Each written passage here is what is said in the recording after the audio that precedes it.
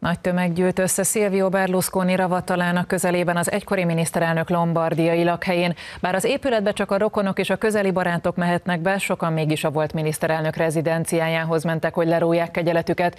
Silvio Berlusconi tegnap hunyt el 86 éves korában, temetése holnap lesz Milánóban. A szakadó eső ellenére ezrével érkeztek az emberek a lombardiai Ancóre városába a Villa San Martinohoz. Ez a birtok volt Silvio Berlusconi lakhelye és egyben pártpolitikai tevékenységének központja is. Most mindenki azért jött, hogy lerója kegyeletét a volt miniszterelnök előtt. Un saluto affettuoso a Forza Italia párt 86 éves vezetője, aki korábban háromszor is betöltötte a kormányfői tisztséget, már régóta leukémiával küzdött, az utóbbi hetekben pedig tüdőbetegséggel is kezelték. Pénteken kivizsgálásra szállították be a milánói San Raffaele kórházba. Itt hunyt el hétfő reggel, az olaszok legnagyobb megdöbbenésére. Silvio Berlusconi nem csak politikus volt, hanem médiamogul és az AC Milan futballcsapat tulajdonosa és a klub sikereinek csúcsán. E, Száz százalékig támogatom a Milánt és Berlusconit is. Két napra érkeztem Milánóba, és pont ez alatt történt a tragédia. Úgy érzem, tisztelegnem kell előtte a sok jóért cserébe, amit adott, mondta egy szurkoló.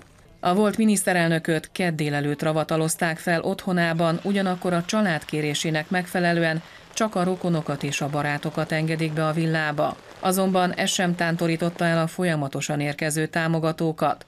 A legtöbben virágcsokrot vagy szurkolói sálakat helyeztek el a bokrok tövében. Az egyik zászlón olaszul ez olvasható, köszönjük a lelkesítést, amit kaptunk tőled. grande vuoto. Nagy űrt hagyott maga után, emberként és politikusként is tiszteltem. Nehéz lesz túltennem magam a halálán. A bátorsága volt az, ami igazán megmaradt bennem, mondta a Forza Itália egyik szimpatizánsa. Ciao papa, azaz szia papa, ez a felirat volt olvasható a Mediaset TV tornyának kivetítőjén, a médiavállalat így emlékezett meg alapítójáról. Az ország intézményeinek épületein már hétfőn félárbócra eresztették a nemzeti lobogókat, a parlament üléseit csütörtökig elhalasztották, és a kormány is felfüggesztette a munkáját. Azt hittem, lekapcsolják majd az adótorony kivilágítását, erre most itt van ez a felirat. Nagyon megható, mondta egy járókelő.